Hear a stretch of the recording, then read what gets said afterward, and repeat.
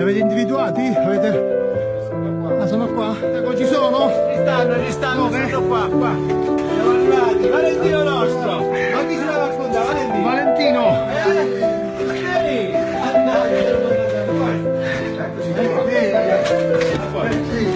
Buongiorno! Signor Valentino? Sì, qua in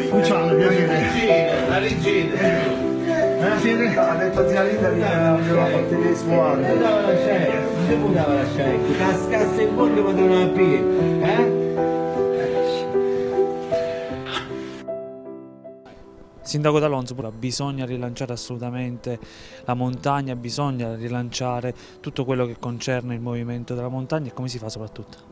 Certo che tutta questa emergenza, a partire dal problema sisma, a partire poi dalla neve, tutto quello che ha portato la neve, quindi l'isolamento di numerosi paesi, ha prodotto due effetti. Uno l'effetto diretto, cioè il danno diretto, e cioè quel venir meno della luce, quel venir meno eh, diciamo, della possibilità di fruire dei servizi e poi c'è l'altro dramma, io lo chiamo dramma, che è il danno indiretto, e cioè quello che ha provocato l'intero territorio. Il terremoto ha dato uno shock eh, diciamo, psicologico, ma poi c'è altro terremoto che è quello dello Stato sociale che ha lasciato eh, questa bufera perfetta, questa tempesta perfetta. I territori si sono svuotati, eh, la gente ha perso la fiducia nelle istituzioni e nel territorio stesso in virtù di quello che hanno vissuto. Tutti cercano di scappare, di andare a valle e poi insomma questa gogna, la diga, così come annunciato dalla Commissione Grandi Rischi, ha lasciato anche qui un suo effetto che insomma la paura, eh, la scuola, eh, il grado sismico e quindi tutta questa condizione ha prodotto veramente un terremoto socio-economico.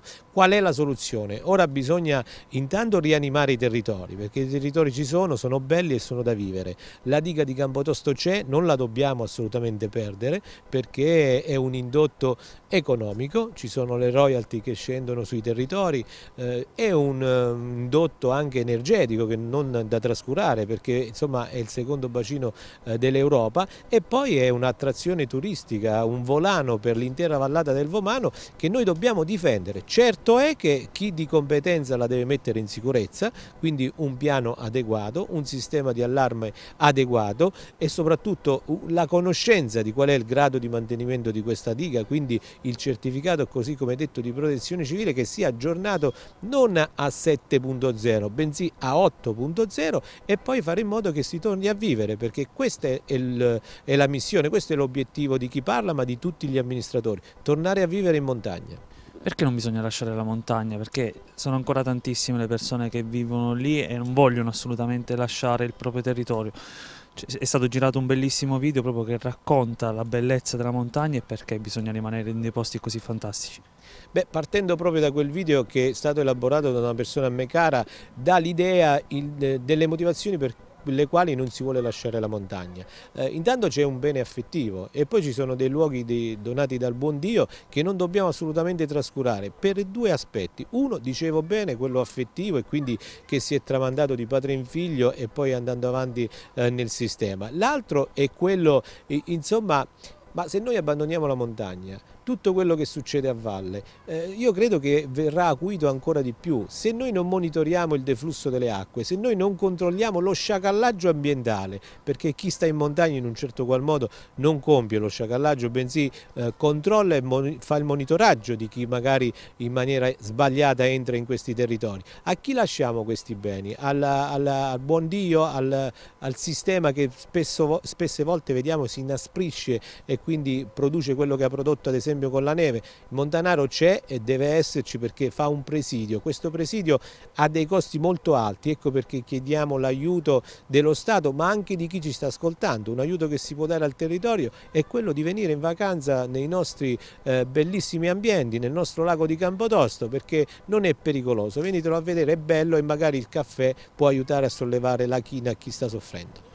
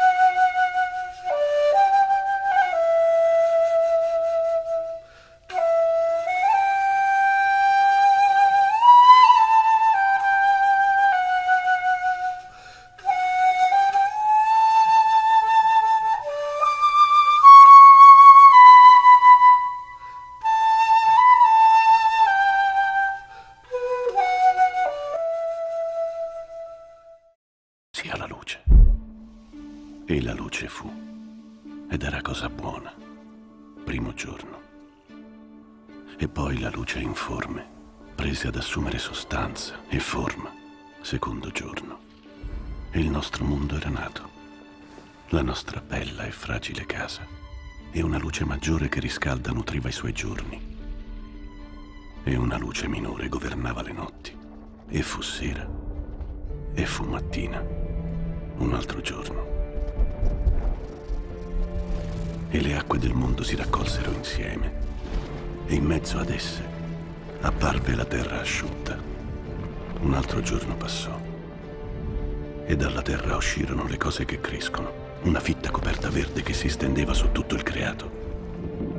Ed anche le acque brulicavano di vita.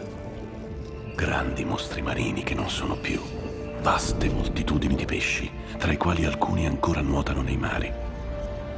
E presto il cielo fu solcato dagli uccelli, e fu sera, e fu mattina, quinto giorno.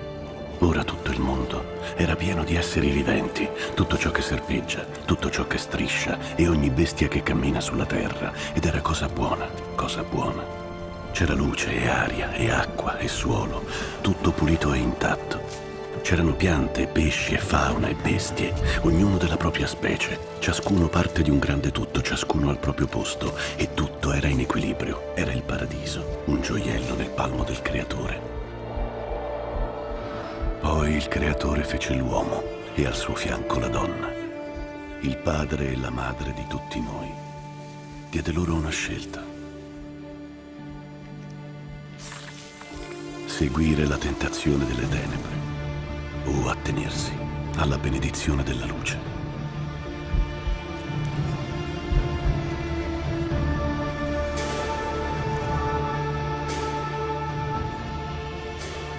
Ma essi mangiarono il frutto proibito. L'innocenza si estinse. E così per le dieci generazioni dopo Adamo, il peccato ha camminato in mezzo a noi. Fratello contro fratello. Paese contro paese. L'uomo contro il creato. Ci siamo uccisi l'un l'altro.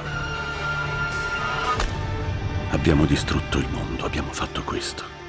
L'uomo ha fatto questo. Tutto ciò che era bello, che era buono, l'abbiamo annientato. I've heard there was a secret chord that David played and it pleased the Lord. But you don't really care for music, do you? Well, it goes like this the fourth, the fifth, the minor fall, the major lift, the baffled king composing hallelujah. Hallelujah.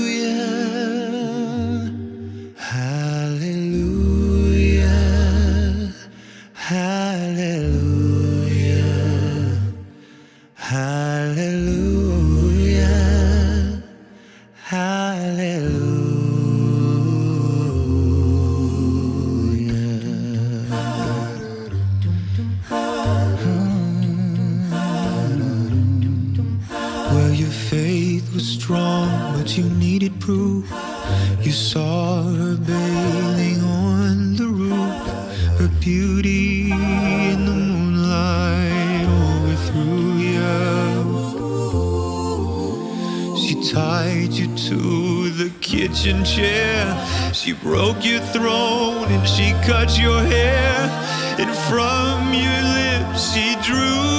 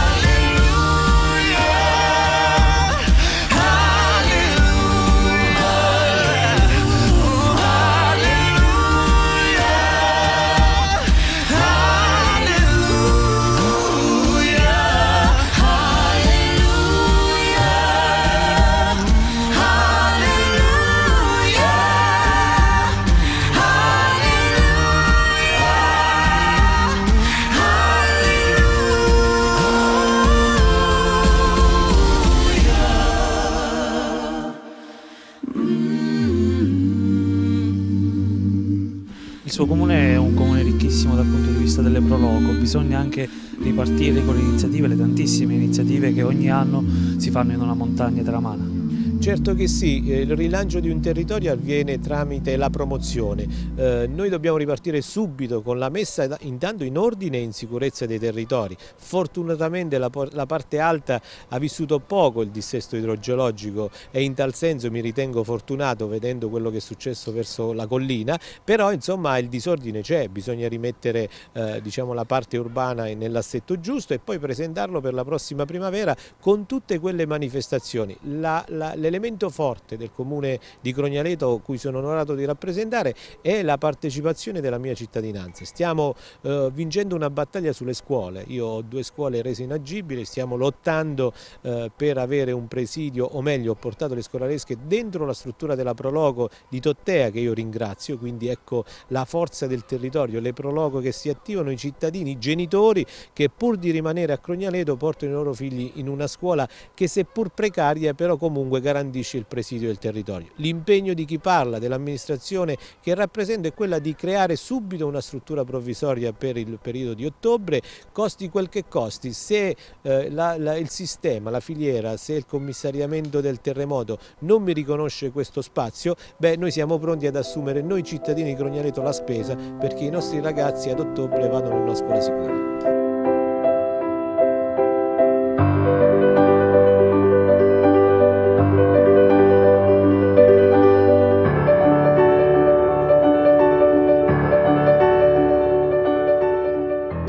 Gianni Vicenta, la provincia di Teramo è venuta a ribalta anche a livello nazionale per tutto quello che è successo partendo dal terremoto, dal maltempo, anche sulla questione della diga, però bisogna assolutamente ripartire perché sennò si rischia seriamente lo spopolamento. Sì, purtroppo questo è vero, ma è vero altrettanto che a partire dall'amministrazione ma anche dai singoli cittadini c'è la voglia di ripartire. Il primo segnale è quello che abbiamo cercato di dare, è quello delle scuole che con mille difficoltà, soprattutto per le famiglie e per gli insegnanti, eh, sono ripartite. Eh, stiamo cercando ulteriori soluzioni nonostante una normativa che in pratica a mio avviso è un po' lacunosa sotto questo aspetto. Stiamo cercando di dare dei segnali positivi, il problema è avere, avere gli strumenti. Su questo in siamo fermi e, e, e spero che a, partire dal, dal, Presidente della Regione che è vicecommissario in questo caso ci siano immediatamente dei, eh, dei riscontri rispetto a dove presentare le pratiche, per esempio per la delocalizzazione, qui ci sono attività che pur volendo rimanere nel centro storico, quindi individuando uh, diciamo, una, un, un, edificio vicino, attiguo a quello inagibile e quindi cercando di rimanere sul posto, non hanno al momento ancora la possibilità di avviare la pratica per la delocalizzazione. Questo è un qualcosa che da una parte è un segnale fortemente positivo perché vuol dire che si vuole rimanere a Montorio, dall'altra è un segnale negativo perché dal punto di vista burocratico bisogna un attimino accelerare ma c'è di più, io spero che le modifiche anche richieste al decreto eh, da parte di tutti i sindaci della, della provincia a partire da quelli che fanno parte del cosiddetto cratere sismico, eh, vengano accolte e si possano creare dopo delle, le condizioni per far sì che ci siano nuove, eh, nuovi insediamenti produttivi sul nostro territorio. Per quanto riguarda questo, gli uffici già da tempo sono stati eh, incaricati di trovare nuove eh, aree a disposizione, capannoni non utilizzati, eh, per velocizzare e dopo realizzare una call a livello nazionale e anche europeo per insediamenti sul nostro territorio, seguendo quelli che sono i vantaggi che, sono, che spero siano previsti all'interno del, del decreto. Quindi c'è tutta la volontà di ripartire, un fermento forte da parte anche della, della gente, la voglia di ripartire. Io per esempio credo che sia un elemento davvero assurdo pensare che abbiamo tra le migliori aziende edili sul territorio e al momento sono ferme, con milioni e milioni di euro di lavori da dover realizzare. Quindi su questo serve di dare una spinta, ma questo può significare far ripartire Montorio, far ripartire i servizi, eh, sotto tutti i punti di vista. Considerate che Montorio, così come gli altri comuni, eh, è entrato a far parte della quinta area interna, anche lì non è che ci sono vantaggi dire, immediatamente diretti su quelle che sono le prospettive di sviluppo, però rappresenta sicuramente, e questo ce lo ricordava in particolare il professor eh, Fabrizio Barca, che eh, in pratica rappresenta sicuramente un volano per lo sviluppo. Abbiamo una delle zone più belle dell'Appennino eh, che è stata toccata pesantemente dal terremoto e parlo non solo chiaramente dei territori della regione Abruzzo ma anche quelle delle altre tre regioni ma che rappresentano veramente eh, il, il, simbolo dell'Italia proprio, perché se, io credo che all'estero se eh, pensano all'Italia, a parte eh, le città d'arte storica che abbiamo, dopodiché pensa a questi territori che devono essere eh, chiaramente aiutati eh, per farli ripartire. Possiamo dire che il comune Montorio è un comune ricco perché ha tantissime tradizioni, ha tantissime strutture anche storiche comunque che devono essere rilanciate per far venire a Montorio visitatori da fuori. Sì, noi abbiamo tradizioni culturali che rappresentano sicuramente un elemento di attrazione non eh, di poco conto, a parte quello che è l'aspetto naturalistico del nostro territorio. In particolare si può partire dalla banda, da quello che sono le tradizioni eh, del carnevale montoriese al carnevale morto che penso che sia un unico in tutta Italia e che avremo la possibilità ancora di continuare grazie all'impegno delle associazioni che sono presenti sul territorio, a partire dalla Proloco ma anche il Weekend Art e tutte le associazioni che normalmente operano sul nostro territorio e che continuano a operare sul nostro territorio. Non, i, i, ragazzi sono forse ancora più testardi di noi amministratori perché hanno tutte l'intenzione a, a, voler rimanere qui, quindi eh, con, eh, con un po' d'aiuto che non significa in pratica aiuti così di, a livello assistenzialistico, ma chiaramente siamo in una situazione in cui il, il Paese nel suo complesso è in una condizione critica facendo l'esempio che si faceva in altre occasioni, è un malato che si trova in una situazione critica, che non può essere che certamente curato con l'aspirina, ma ha bisogno di una cura molto forte, di uno shock, un elettroshock che in pratica faccia ripartire eh, tutta quanta l'economia, a partire da quelle che sono le attività commerciali che hanno rappresentato tra l'altro anche, anche, qui un, un elemento importante non solo per Montorio ma per tutta quanta l'area interna. Stessa cosa per le tradizioni, noi abbiamo lo Stu che ormai abbiamo, penso che si sia consolidato nel tempo e sia diventata eh, una, una, carta di presentazione, un biglietto da visita per eh, quanto riguarda Montorio. Eh, tutta una tradizione culinaria che eh, con i ristoranti che siano, penso che siano tra i migliori, prima ho fatto accenno a quelle che erano le aziende edili, ma stessa cosa per quanto riguarda la parte culinaria. Abbiamo dei prodotti che oramai eh, sono, stati, sono, sono conosciuti ovunque, a partire dalla nostra partecipazione dell'amministrazione all'Expo che vi è stata eh, nell'anno del 2016 e a tutte le altre iniziative con, con l'attenzione ad esempio del Rotary che abbiamo avuto, del Rotary di Firenze che grazie anche ad alcuni professionisti eh, locali eh, stiamo continuando a portare avanti per far conoscere quelli che sono i nostri sapori anche perché anche sul turismo dobbiamo puntare molto su quello che è un, un turismo di tipo eh, esperienziale che punti molto su quelle che sono le sensazioni, il gusto eh, e non soltanto sulla parte chiaramente naturalistica che è quella che in pratica oggettivamente è, un, è il punto di partenza ma ha bisogno di essere arricchita con tutti quanti questi elementi che rappresentano sicuramente un volano per il rilancio di tutta quanta la, la nostra area interna. Aggiungendo se posso ulteriormente, è che eh, il fine dopo di, della ricostruzione è di avere delle strutture che sono sicure, quindi abbiamo tutta la voglia di ripartire, di implementare quali sono le attività ricettive, eh, di creare nuove attrazioni sul nostro territorio, andando a massimizzare quelle che sono le opportunità che spero che il governo ci possa mettere a disposizione. A guardarti dall'alto posso solo immaginare la vita che ti pervade. Ma ti vedo bella da sempre, anche quando, impavido, un diciassettenne irrequieto vuole andare via. Tanto, in cuor suo, sa già che tornerà. Magari per fumare di nascosto, in una ruetta semibuia, dove si è lasciato il desiderio di un primo bacio. Quanto sei bella, Montorio mia, quando gli scarponi scendevano e risalivano per i colli d'orzo dorati, oggi annullati dal tempo che erode e da un altro piano regolatore, che fa gioco a questo tempo costruttivo e distruttivo che non possiamo fermare. Abbiamo ancora il Vomano, pur se diverso è il colore dell'acqua sua. E poi abbiamo ancora lui, il gigante che dorme, che ci veglia alle spalle e ogni tanto si muove e ci fa tremare. A guardarti dall'alto posso solo immaginare il vociare degli antichi mercati, le battute pronte e saporite, rese uniche dal dialetto nostro. E tutte le storielle, mo t'arcondono fattarille.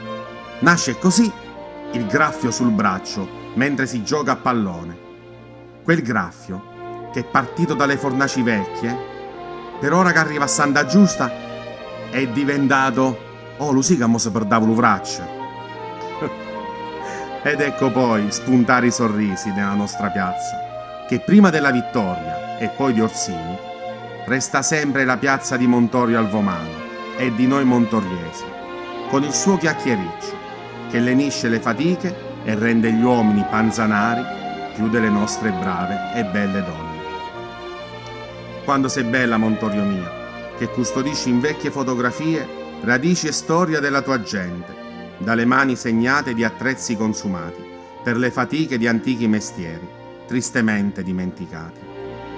Ecco io, a guardarti dall'alto, paese mio, posso solo immaginarti, e mi piace tutto di te, il viale alberato, le chiese tutte, e il soffitto di San Rocco, questa enorme tavoletta di cioccolato. E sento come una compagnia il suono della banda, con le sue belle divise, come quelle delle guardie comunali, con quell'elmetto bianco che oggi non vedo più. Poi i mulini e le fontane, le maschere e mascheroni, coppi e comignoli che fumano ancora. Vedo anche le nostre frazioni che aspettano un cenno, un saluto soltanto, che poi sanno fare da sole. Sei sempre più bella, Montorio mio, pur se hai ferite sulla tua terra che non solo di cemento sono fatte, ma non si può sempre volare. E poi mi piace camminare, sui San Pietrini e sull'asfalto, sull'erba dei giardini, con gli occhi dei bambini. Alle volte mi intristisco, pensando ai ricordi che sono smarriti, e mi viene da dire, ma tu hai della bella Mondurio che marcundava nonna? E tu, pronto, sempre rispondi, eccoti paese mio sempre qui al fianco nostro, come la casa che sempre aspetta, pur se scolorito, sia fuori che dentro, e troppo spesso offeso dalle mani di chi dovrebbe accarezzarti, quelle bocche voraci già nei pensieri, di furbastri ben vestiti, dalle panci capienti e gli stomaci forti, che senza vergogna ed alcun pudore mostrano denti sorridenti e stringono mani sempre in modo leggero. Mi viene un poco di magone, ma non me ne voglio andare, anzi, voglio esistere e restare. Alla sera poi mi faccio un giro in bicicletta e parto dalle piane. Passo sotto al camposanto, salutando a modo mio chi sta lassù. Scendo per Picciafuga e mentre pedalo per il ponte saluto la Madonna in alto già vedo il nostro colle. Mi alzo sui pedali e via di corsa per la strada di sotto. Lo sguardo si apre alle vecchie botteghe, a tutti i portoni. Mi sembra di sentire le voci e i rumori. E saluto a modo mio anche qui questi ricordi. Trattengo una lacrima e libero un sorriso. Arrivo in piazza, ma non c'è più Fausto Coneliche e nemmeno Concettona, di cui mi raccontava mio padre pedalo ancora e scendo per largo Rosciano. Penso alle battaglie che mi hanno raccontato e immagino spade e cavalli. Mi porto alle scuole, che sono di tutti, ed oggi anche dei ricordi di un giovane scolaro. Arrivo a Santa Giusta e penso alla musica che arriva da dentro. Riprendo il viale e faccio attenzione alle auto, che oggi, ahimè, comandano loro. Quando c'erano i cavalli, governava l'uomo e si rispettava prima il cavallo e poi anche l'altra bestia. Salgo per via Gramsci e riscendo per San Rocco, bevo l'acqua all'un mascherone e guardo da dietro il campanile e penso che questo posto era l'ingresso di Montorio. Poi vado per sopra e arrivo a San Filippo. Ad ogni ruetta vedo uno scorcio del corso e mi sento bene come un montoriese a Montorio, altro che New York e Nembo Kid. Mi viene da sorridere, pensando allo scambio di battute di qualche giorno fa. Sei mai stato mai a New York? No, sono stato a Montorio. E me ne torno a casa, un po' felice e un po' triste, ma con una certezza nel cuore, che sei bella, Montorio mio, e che a guardarti dall'alto posso solo immaginare, ma fin quando sto qua giù, assieme a te, voglio restare.